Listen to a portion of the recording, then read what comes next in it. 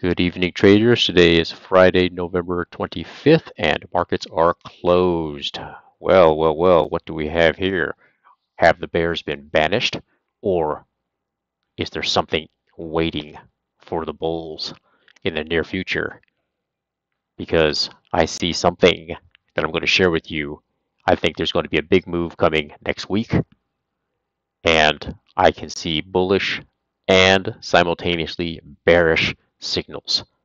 And I'm going to show you both sides of the coin today and let you be the judge because I can see both scenarios from a probability perspective equally playing out. I suspect right now that VIX is either going to have its revenge next week or it's going to plummet to even below the magic 20 number that people talk about. Okay, so um, we're going to get into that in today's session, and then I'll let you be the judge. You can leave comments, thoughts, whatever. I'm open to any of that. Okay, I'm going to show you both sides, the bull and bear case.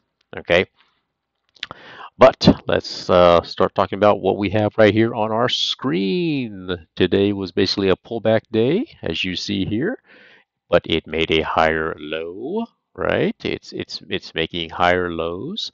And you see here it's wicking up, meaning there's buying pressure that's pushing it back up. Okay, and as you see here, the headlines down below, Dow closes more than 150 points higher. Uh, the indexes overall for the week closed higher in the green. Okay, so so far so good, at least. All right. Now let's go ahead and get to the weekly scorecard for this week. Um, I ended up being four for four. But you know, I I, I want to say that um, you know I get Monday, Tuesday, Wednesday, and then today uh, I called it correctly on this morning session. I said the VIX, MACD, and RSI looks bearish. There was bearish divergence in the VIX, and that did prove to be the case. Okay, so um, you know, let me uh, let me go ahead and zoom on out of this. And you know, I'll say it, it doesn't really matter if I'm one for four or four for four. You know, who really cares about the accuracy or you know being 100% right? As long as uh, I try to get accurate information out uh, for you guys to consider, that's really all I care about. Uh, I'm not. I don't really care if I get 100% right. well, I'd like to get 100% right, but you know, uh, what matters more is that I get accurate information out so that where possible, uh, you guys can be on the right side of the trade. Okay, so now, um, as I've shown in previous videos, what I've done actually, uh, here, let me zoom in a little bit so you can see that a little bit better. You know, these first three I put in the background here, that's forest. That's that's what in the green font. Forest, forest, forest, okay?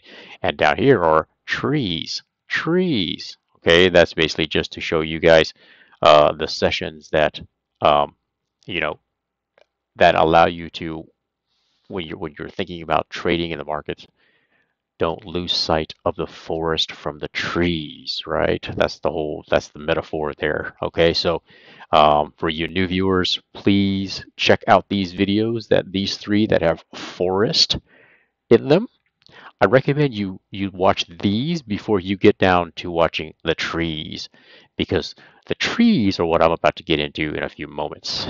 okay, uh, they, it's but you you don't want to lose sight of where you are in the forest, right? So it's important to keep the macroscopic uh, uh, in in in in mind, even though you're you're dealing with microscopic intraday trades. Okay, so um, so anyways, yep. So please check out these other two videos if you'd like to uh, get my projections on uh, where we are with the relative to the market, the true market bottom, and uh, you won't have to worry about the FOMC meeting for another uh, couple of weeks or so, mid-December. Okay. Okay, let's first start off with TQQQ for the day. Um, boy, you want the overall trend right here is that here. Let me let me turn on the laser pointer. Okay, overall trend was the entire day. It basically backtested. it, it it's it it was just a, a pullback from the previous couple of days rally. Okay, and it did not take the the EMA 50 all day. See that? It stayed under it. EMA 50 on the five minute chart served as resistance. Okay, but what happened was, and, and right now I'm going to make the bull case, but I'm going to show you the bear case a little bit later. The bull case here is it formed this wedge. See that? It's forming a wedge, and you see the MACD is going up. You see Chaikin money flows going up. You see RSI going up. Okay, this is all in the five minute. On the 30 minutes chart, you see upward buying pressure on the wicks right here and you see it trying to flatten out on the MACD, even though it is below the zero line, it is trying to flatten out, right, on the 30 minutes chart. RSI, you see it going up slightly, higher lows down here. 65 minute chart, same deal. Look at that. You see it. You see buying pressure making causing the wicks going up, wicks going up on the 65 minute chart, you see this, it's starting to try to flatten out above the zero line. See, so that's still bullish. Okay, it's still bullish at this time. I'm going to say at this time. And look down here, it's making higher lows. Okay, okay, so um, so I kind of glossed over all of this really fast for you newer viewers. Feel free to look up those videos, those two videos that said trees. Okay, um, because I, you know, this was a pretty fast gloss over. Uh, but I go at nauseum into much more details uh, with a much more examples in the two videos that were labeled trees. Okay. Now onward with the bullish case. Okay, before I get to the bearish case. Okay, EOY end of year rally reason number one. This is why incentive funding, aka bonuses. okay, you have a month left, guys. You fund managers, fund managers, you have one month left to get your bonuses. And what does that mean? You have one month to pump and then dump, right? Pump the markets and then dump it on the dumb money. You, the fund managers are considered smart money because they're the ones that are dealing with uh, billions in, in, in, in, in aggregate. And the retail is the ones who usually the retail investors, like uh, you know most of us, are the ones who, when you're not careful, you get dumped on, right? Okay, so it's the pump and dump incentive funding. Reason number one. Reason number two: stock buybacks could be accelerating. Uh, it's not could be; they are accelerating uh, because.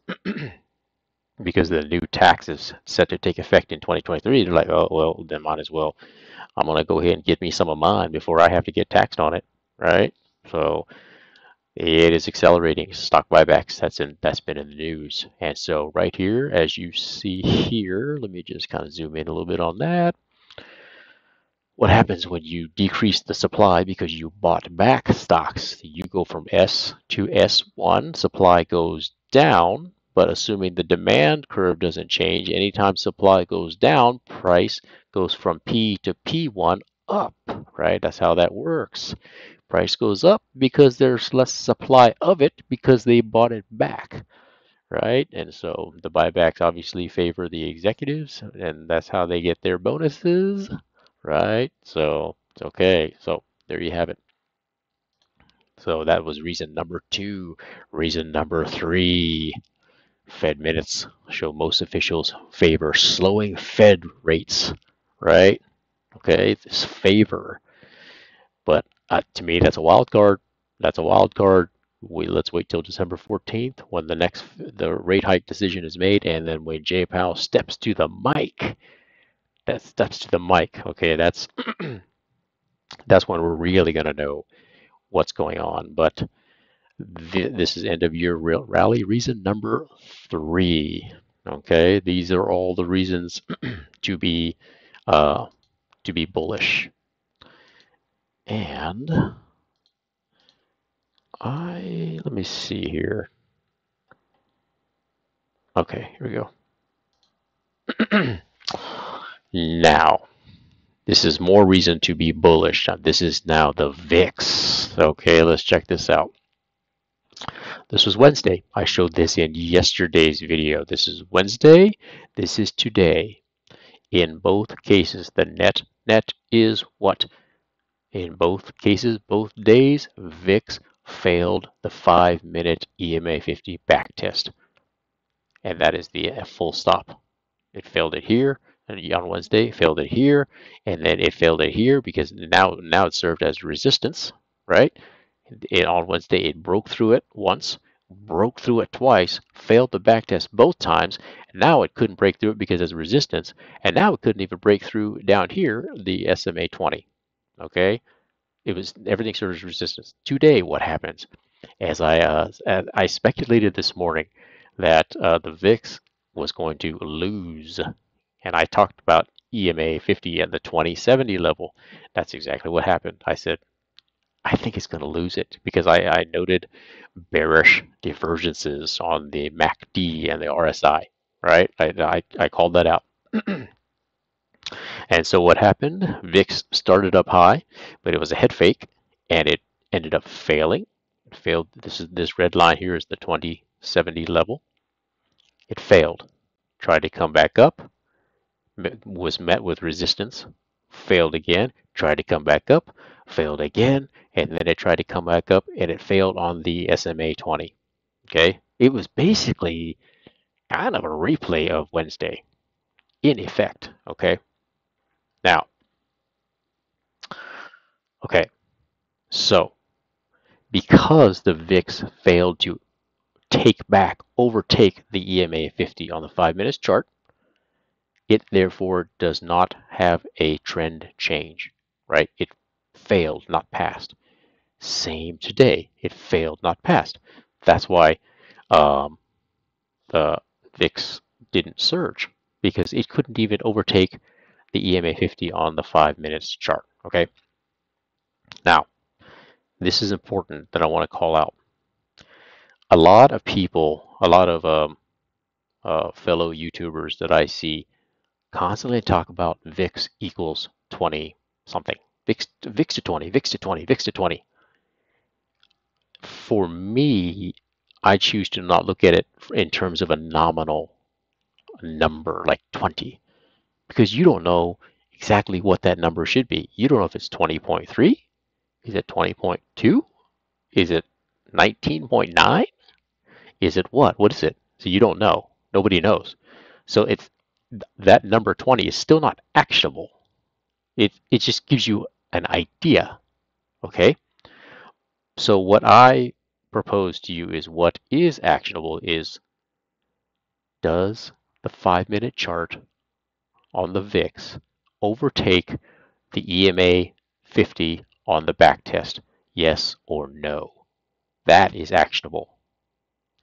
I postulate that you will have your answer of whether it's 20.2 or this 19.9 or whether it's 20.9, it doesn't matter. You will have the answer to that VIX equals 20.x question.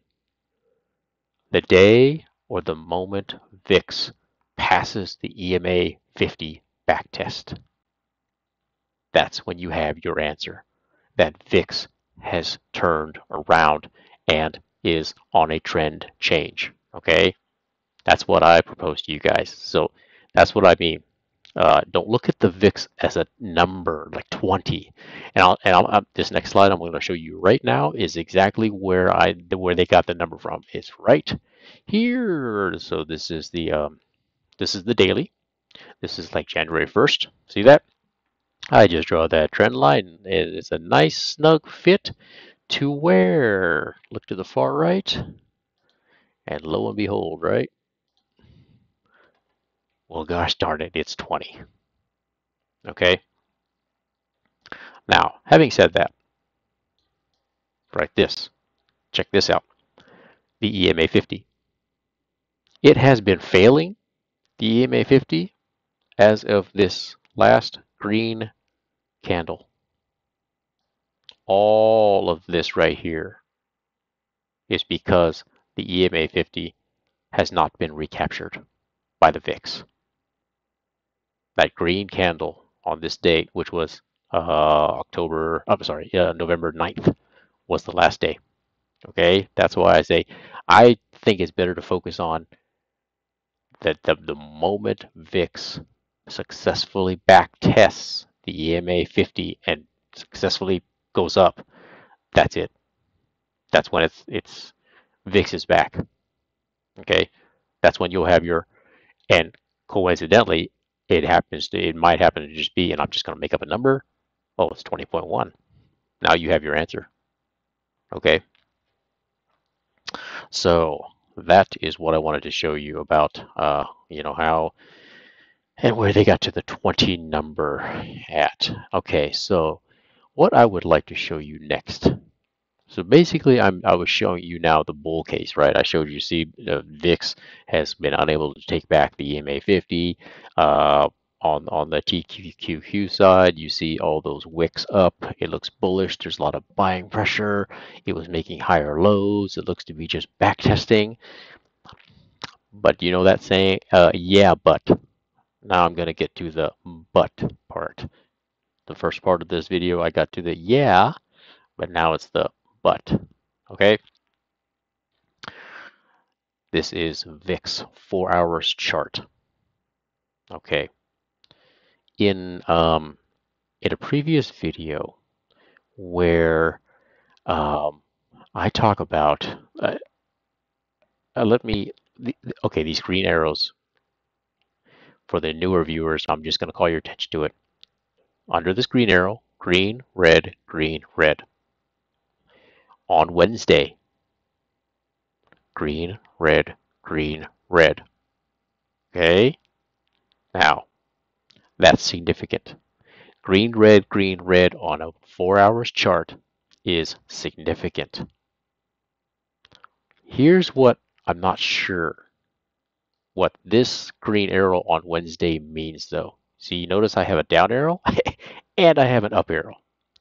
The reason why I'm not sure yet is because if, if on this four hours chart for VIX, if this guy flattens out, if it flattens out, so we need to wait until Sunday night futures into Monday morning, or possibly even into Tuesday. We need to see some follow through is my point if on the four hours chart VIX, this thing flattens out,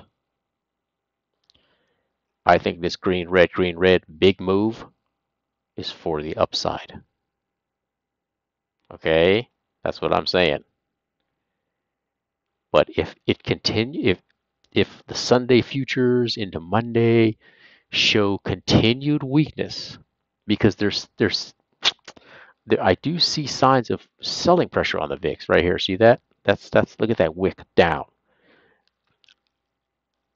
So if there's continued weakness, then this green, red, green, red for VIX will favor the green, the down arrow to the downside. Okay. Now, um, for let me uh let me get to the the uh let me see. Hold on a second all this green, red, green, red business for the newer viewers, it's this one. Check out this one in more detail. I go into a lot of details. Big mover patterns right here, okay?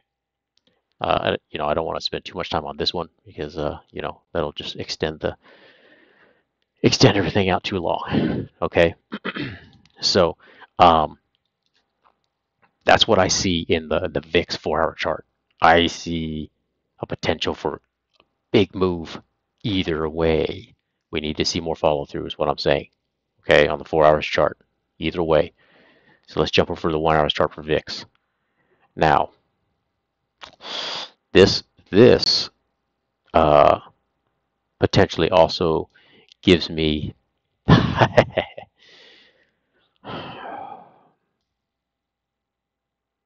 here.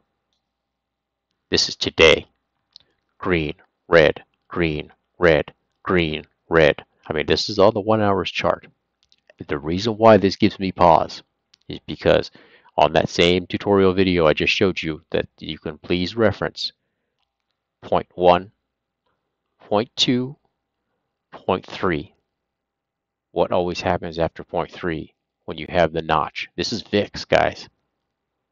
Up. See what I'm saying? And now look at this. Now you have red, green, red, green, right? Red. Something big is coming, and I think it could be. you know, I, I made the bull case, and now I'm making the bear case. Now, let me show you. Let me show you. Okay, so this is the one hour. See, this this this one, two, three pattern looks dangerous. It looks dangerous. I'm going to be honest with you, because we now we're seeing a green red green red from the bottom position on the one hour, and then on the four hour, I could I could make the argument it can go either way. So, um, but yet, let's go out to the one day for VIX. The one day, however, look at the MACD. It does look somewhat weak on the one day. See that? It's, it's it looks like it's for going further down, right? On the one day. So it's it's almost like and I'm gonna zoom on in. Well, let me get this out of the way. It's just so you can see better. See, this is the weekly. This is the weekly for the VIX. It's coming down into the negative. At what point is it going to pivot to make a higher low from here to there? We don't know. We need to wait for follow through. See what I mean? So, yeah, see, so I'm making both the bull and the bear. It, it it's almost like this formation on the VIX that's happening right now is is uh you know where I'm from we're we're we're we get a lot of tornadoes. I mean I'm in the Midwest, right? It's almost like you're starting to see the funnel forming in the clouds. But the tornado, if the once the tornado touches down, then then that's full blown red alert. Right, it's coming. It's almost like I see the best metaphor is I see the funnels starting to form in the clouds, but the tornado. I need to see more data before I can declare the tornado has touched down. Does that make sense? I hope it does. So, uh, okay, so you know that's oops, that's that, that, that's the VIX. That's what I want to show you about the VIX. Nasdaq. Okay, this is the four-hour chart on Nasdaq. See, look at this. This was Wednesday as well. Wednesday. Green, red, green, red. That's this on the this is on the four hours chart. Green, red, green, red from the upper position always means down. The question is, is this the extent it's going to go down? Or does this down mean further down? Meaning the VIX has woken up. Now, keep this in mind. There's something that tells me there is more further downside. This is the four hours chart. This is the, as of today, it has crossed back over down uh, uh, below the, the, the, the green signal line. And it's while still over the zero line, true, it has crossed over. Now what we don't know is to what extent this is going to fall before it curls back and hope and ideally makes a higher low. Does that make sense? Like right here. You know, wh where, where does it, where does it, where? We don't know. Okay? Because we want it to make a higher low right there, like that. We don't want it to do that, right? That's what we don't know. Okay, so this is the NASDAQ four hours chart. So all, although today the, I made the bullish case earlier, you know, it held serve. You see this buying pressure, buying pressure. I also made the case that I showed you. It looks like VIX is forming something, right? And that's know, we're getting into like limbo, like, uh oh, uh oh, what's happening? What's going to happen? Okay. So really the, the, uh, the last thing I want to show you is the, the NASDAQ one hours chart.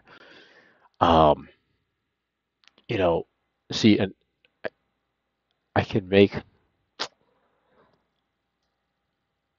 Okay, so again, the good news is see where it is in the channel. It's not at the low of the channel. It's it's right there. And on the one hours chart, let's let's you know, it's it's still you know, right there, a higher low. Are you going to try to flatten out? What are you going to do? so, a lot of questions that we simply will not know until we let futures Sunday night play out into pre markets Monday morning. Okay. That's kind of where then we'll have a much better idea. But until until that happens, oof, we are. I just feel like right now it's almost a coin toss. What's going to happen next week? But no matter what happens, I think there's a big move coming next week. What I can't say if it's up or down. so that's kind of where we're at. Okay. Um, so that basically concludes, uh, you know, today's uh, presentation. If you'd like, you can follow me on Twitter, where I have more real-time uh, tweets during the day. And if you liked what you saw, please give it a like, share it with somebody else, subscribe, and click to be notified when I release a new video. Okay. And with that, I leave you with my calling card, Agent 000 out.